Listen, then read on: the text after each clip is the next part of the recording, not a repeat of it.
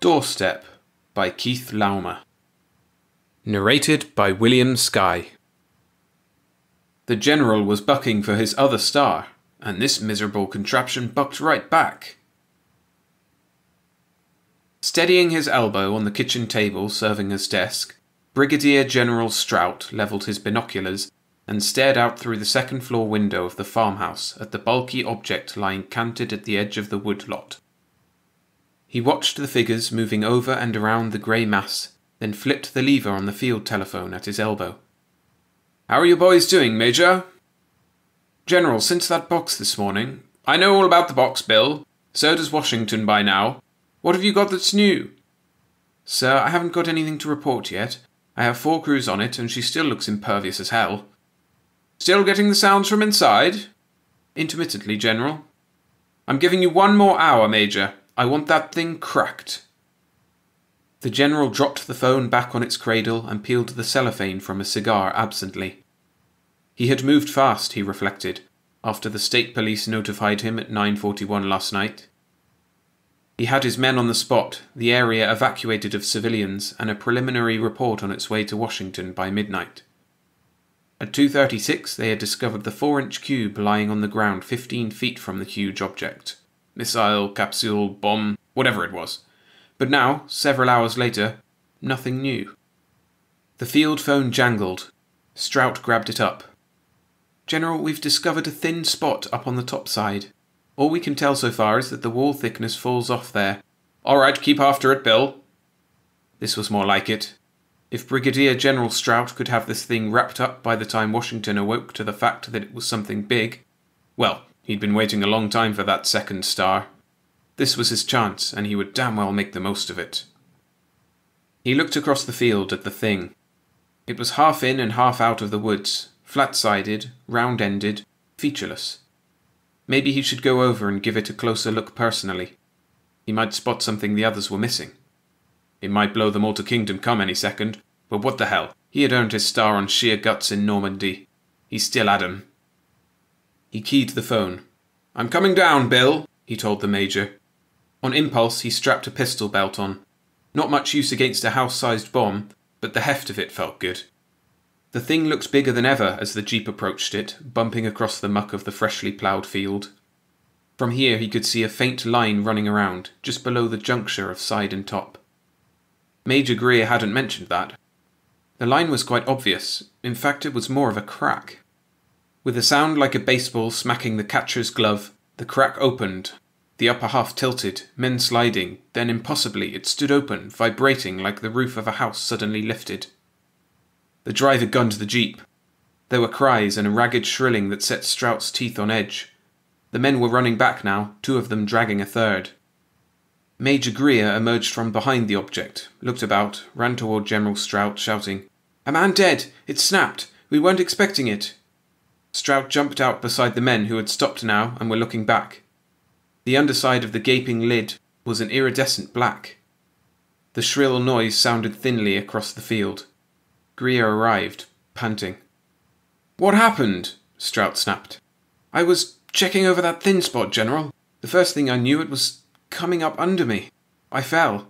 Tate was at the other side. He held on and it snapped in loose against a tree. His skull. What the devil's that racket? That's the sound we were getting from inside before, General. There's something in there, alive. All right, pull yourself together, Major. We're not unprepared. Bring your half tracks into position. The tanks will be here soon. Strout glanced at the men standing about. He would show them what leadership meant. You men keep back, he said. He puffed his cigar calmly as he walked toward the looming object. The noise stopped suddenly. That was a relief. There was a faint and curious odour in the air, something like chlorine, or seaweed, or iodine. There were no marks in the ground surrounding the thing. It had apparently dropped straight into its present position. It was heavy, too. The soft soil was displaced in a mound a foot high all along the side. Behind him, Strout heard a yell. He whirled. The men were pointing. The jeep started up, churned toward him, wheels spinning. He looked up. Over the edge of the grey wall, six feet above his head, a great reddish limb, like the claw of a crab, moved, groping. Strout yanked the .45 from its holster, jacked the action and fired. Soft matter spattered and the claw jerked back. The screeching started up again angrily, then was drowned in the engine roar as the jeep slid to a stop. Strout stooped, grabbed up a leaf to which a quivering lump adhered, jumped into the vehicle as it leaped forward, then a shock and they were going into a spin and. Lucky it was soft ground, somebody said. And somebody else asked, What about the driver? Silence. Strout opened his eyes. What about. A stranger was looking down at him, an ordinary looking fellow of about thirty five. Easy now, General Strout. You've had a bad spill. Everything is all right. I'm Professor Lieberman from the university. The driver, Strout said with an effort. He was killed when the jeep went over. Went over? The creature lashed out with a member resembling a scorpion's stinger. It struck the jeep and flipped it. You were thrown clear. The driver jumped and the jeep rolled on him. Strout pushed himself up. Where's Greer? I'm right here, sir. Major Greer stepped up, stood attentively. Those tanks here yet? No, sir. I had a call from General Margrave. There's some sort of hold up. Something about not destroying scientific material. I did get the mortars over from the base. Strout got to his feet. The stranger took his arm. You ought to lie down, General. Who the hell is going to make me? Greer, get those mortars in place. Space between your tracks. The telephone rang. Strout seized it. General Strout, General Margrave here, Strout. I'm glad you're back on your feet. There'll be some scientists from the State University coming over. Cooperate with them. You're going to have to hold things together, at least until I can get another man in there to. Another man? General Margrave, I'm not incapacitated. The situation is under complete control. It is, is it? I understand you've still got another casualty. What's happened to your defensive capabilities? That was an accident, sir. The Jeep We'll review that matter at a later date. What I'm calling about is more important right now. The code men have made some headway on that box of yours. It's putting out a sort of transmission. What kind, sir? Half the message, it's only 20 seconds long, repeated, is in English. It's a fragment of a recording from a daytime radio program. One of the network men here identified it. The rest is gibberish. They're still working over it. What? Bryant tells me he thinks there may be some sort of correspondence between the two parts of the message. I wouldn't know myself. In my opinion, it's a threat of some sort. I agree, General. An ultimatum. Right. Keep your men back at a safe distance from now on. I want no more casualties. Strout cursed his luck as he hung up the phone. Margrave was ready to relieve him after he had exercised every precaution. He had to do something fast before this opportunity for promotion slipped out of his hands. He looked at Major Greer. I'm neutralizing this thing once and for all. There'll be no more men killed.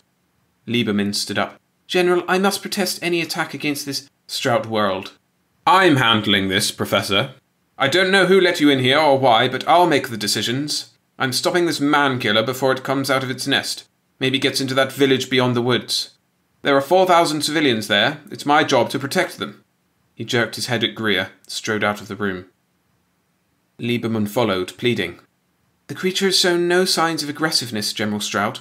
With two men dead, you should have kept them back. Oh, it was my fault, was it? Strout stared at Lieberman with cold fury. This civilian pushed his way in here, then had the infernal gall to accuse him, Brigadier General Strout, of causing the death of his own men. If he had the fellow in uniform for five minutes. You're not well, General. That fall. Keep out of my way, Professor, Strout said. He turned and went on down the stairs.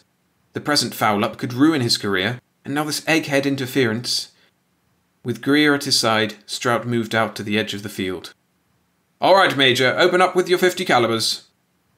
Greer called a command and a staccato rattle started up. The smell of cordite and the blue haze of gunsmoke. This was more like it. He was in command here. Lieberman came up to Strout. General, I appeal to you in the name of science. Hold off a little longer, at least until we learn what the message is about. Get back from the firing line, Professor! Strout turned his back on the civilian, raised the glasses to observe the effect of the recoilless rifle. There was a tremendous smack of displaced air and a thunderous boom as the explosive shell struck. Strout saw the grey shape jump, the raised lid waver. Dust rose from about it. There was no other effect. Keep firing, Greer! Strout snapped, almost with a feeling of triumph. The thing was impervious to artillery. Now who was going to say it was no threat? How about the mortars, sir? Greer said. We can drop a few rounds right inside it. All right, try that before the lid drops. And what we'll try next, I don't know, he thought. The mortar fired with a muffled thud. Strout watched tensely. Five seconds later, the object erupted in a gout of pale pink debris. The lid rocked, pinkish fluid running down its opalescent surface. A second burst, and a third. A great fragment of the menacing claw hung from the branch of a tree a hundred feet from the ship. Strout grabbed up the phone. Cease fire! Lieberman stared in horror at the carnage. The telephone rang. Strout picked it up. General Strout, he said. His voice was firm. He had put an end to the threat. Strout, we've broken the message, General Margrave said excitedly. It's the damnedest thing I ever. Strout wanted to interrupt, announce his victory, but Margrave was droning on. Strange sort of reasoning, but there was a certain analogy. In any event, I am assured the translation is accurate. Here's how it reads in English. Strout listened. Then he carefully placed the receiver back on the hook. Lieberman stared at him. What did it say? Strout cleared his throat. He turned and looked at Lieberman for a long moment before answering. It said, Please take good care of my little girl.